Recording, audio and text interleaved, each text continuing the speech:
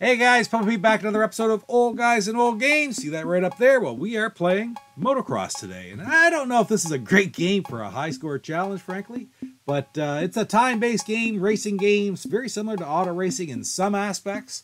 Uh, different in other aspects as well. I don't know if it's quite as strong as auto racing was, but uh, anyway, I've actually got the Intellivision Inc. version. I don't have the Mattel version. I better see the Intellivision Collector picks that right up. But anyway, this game was started by Rick Levine back in 81, right after he finished up PBA bowling. Um, but he left the scene and ended up going someplace else. Then later on went on to do uh, trucking and microsurgeon for Imagic. But anyway, mo- motocross was with Mattel at that point for quite a while, unfinished till it was picked up by Rick Koenig uh, in about 82, 83. It was for an 83 release. So happy belated birthday to Rick Koenig as well. His birthday was last week. Uh, and also, um, let's see, the sounds were done by Mark Urbaniec, and about the only thing left from the original Rick Levine version are the graphics. So the graphics from Rick uh, were left in the game. But anyway, uh, ramble, ramble, ramble. Let's get on to the gameplay. This isn't one that I had as a kid. It's not one that I ever played. And I don't know that it's one that I'm going to play a whole lot in the future either. But we're going to play a little bit here and now. Um, very, very rough. Uh, there's actually two different methods of steering, just like in auto racing, actually, only you can actually pick here directional or left right. And um, I don't know which is easier. Like with uh, the directional for me is easier in auto racing, but I don't know if it is here. I'll probably play directional. Anyway, let's get on and play uh, motocross. All right, here we are, motocross on the ultimate flashback. Let's start her up. There it is, copyright 1982, although it was released in 83, it started in 81 and hit 82 right in the middle. I don't know. It doesn't really matter. It was one of the original Mattel games, one of the very last Mattel games released, actually, too. So let's go in. We played course number one, which is a big course. There it is. Look at that. That's a lot of corners and hills in that one. And where are we going from here? We got three laps we agreed to do one player, and I am going to use the directional steering. So not reverse, and it's going to start right up when I hit the button. So are we ready to go? We are ready to go. Acceleration going.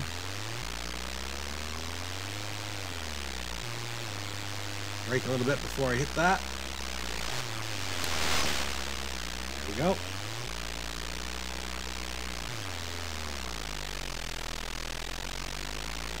Acceleration again here. I braked around that corner.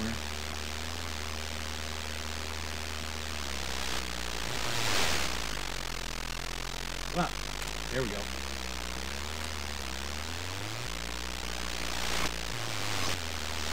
Nice. That's pretty good. Little jump. Now this is a straight stretch, so I'm going to try to get in the middle here and go. There we go.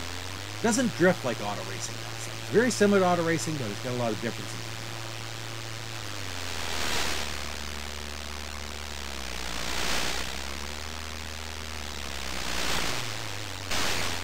Got a little bit too far off. Don't have to get very far off. It, it, it grabs you. It's like they reach out and grab hold, hold of you, even when you don't touch them. That's a weird looking spot there too. It's just from the hill. That's gonna get me. All right, here we go. This is a weird spot because you could, if you jump too far, get on to the next hill, you crash. Just like I did there.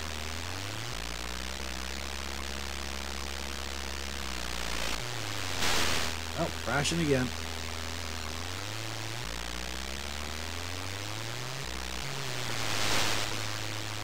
Spin there. Trying to get around that corner without hitting anything. Turn down here.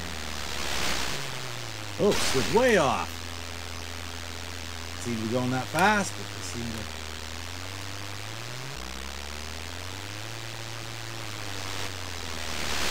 There it is. Through the middle.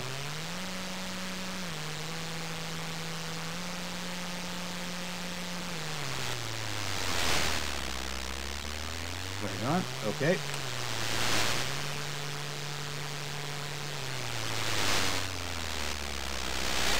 funny how you almost seem to be sliding too far, and then all of a sudden you cut, and you cut uh, in on the inside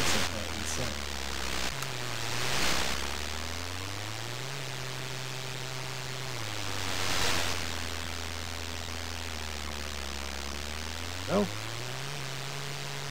it's not a bad time. For me.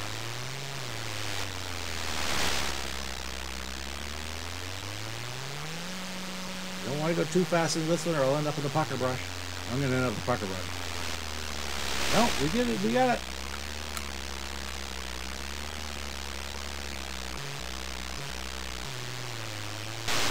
See? I went around that corner and all of a sudden it cut me right back into the into the bushes.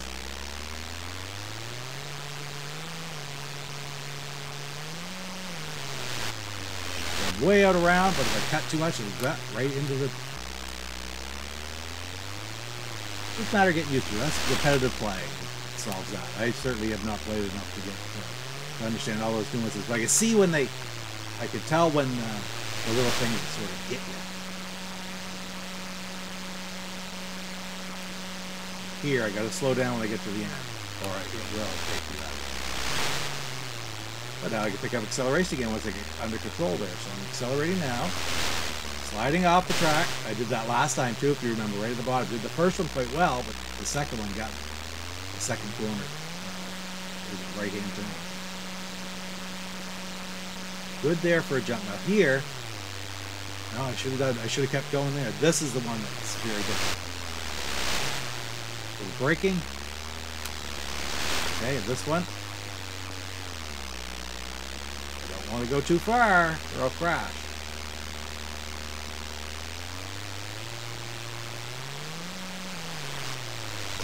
Well, that was a good corner. Oh, see, almost like that one reached. I thought I was safe.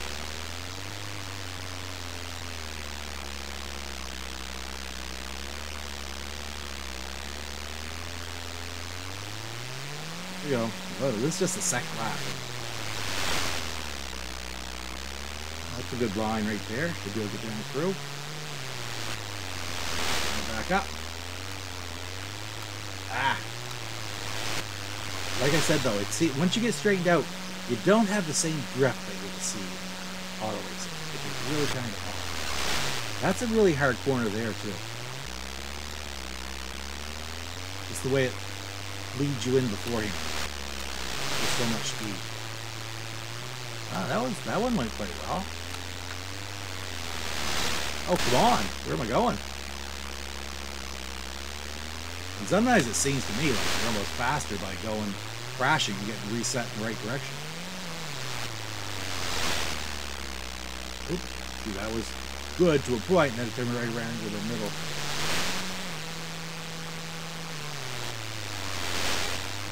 Yeah, okay, one more lap. That was well, same as first one.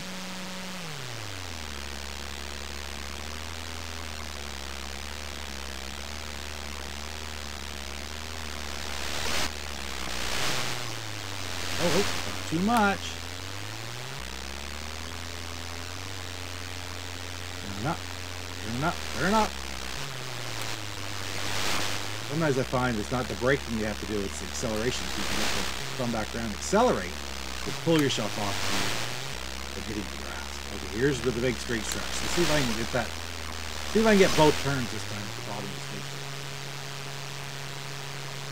Second one's got me both times so. Okay, so let's it out.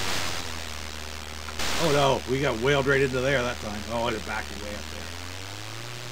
I can go full acceleration right here. I should be okay. And I still crash going through those ones. So this is I got like four hills that, I'm okay to full accelerate. Two. Then I do. No, that was it. I'm crashed for sure. Whaled on the brakes. It didn't matter. But again, it gets you back out there pretty quick.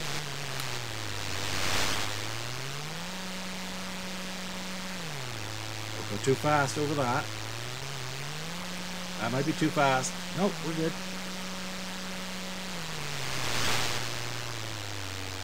Good. I just let off. Didn't break. I just let off the acceleration.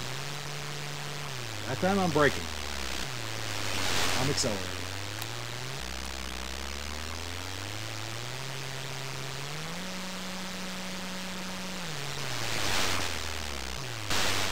Oh, see, I got by it, and then it still took me out, just because it's the grass. Oh, turn down, please.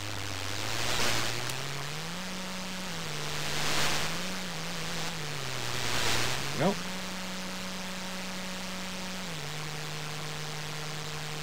Good jump. That was actually pretty good.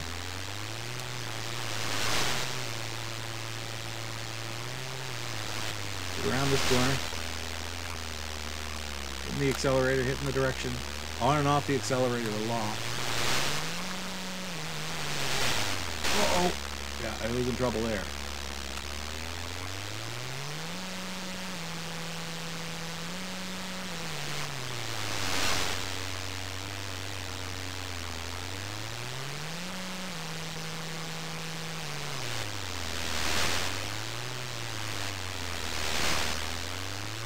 we go.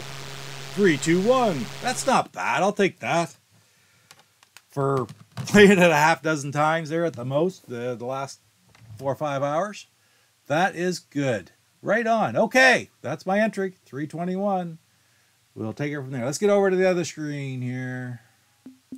Okay, well that's it. Uh, Motocross, not a bad game, not a thrilling game either. It's just a matter if you could play that. You could probably get really good at it if you just played it a lot. Um, I'm not going to spend that much time playing it to get to that point, but it's fun to throw in every once in a while. So would that take me five and a half minutes for a game? I think that's the longest track. Uh, I can see where it'd be kind of fun two players too. Two players who kind of uh, had a good feel of what they were doing would be would be very good as well. But anyway, guys, that's Motocross. Uh, probably won't come out a whole lot more times, but I'll have to get a copy of the Mattel version for my collection for sure. Don't forget to watch the Astro Smash Mondays uh, every Monday night at 7 o'clock cent uh, no 7 o'clock Eastern time on DJC Game Studios. It's myself and Jeff from Go Game Go and DJC and Casey, the Intellivision Gamer, is joining us now. Uh, and yeah, we just talk about everything to do with the uh, original 125 as well as Intellivision homebrew and just have a lot of fun in the chat. And the high score challenge is chosen from four games by the chat each week for the game for us to play. So this week it was motocross. I don't know if it could be better. I don't know. It could be worse as well. So anyway, guys, thanks a lot for spending a little bit of time with me here today in Old Guys and Old Games. And we will see you in the next episode. You take Papa care. Pete, Papa Pete, the old ass gamer. Pete, Papa Pete, the old ass gamer. If you haven't grown up by the age of I'm Rick Levine, programmer of television games, microsurgeon, PBA bowling, and trucking. And you're watching Papa Pete, the old guy gamer. What the hell?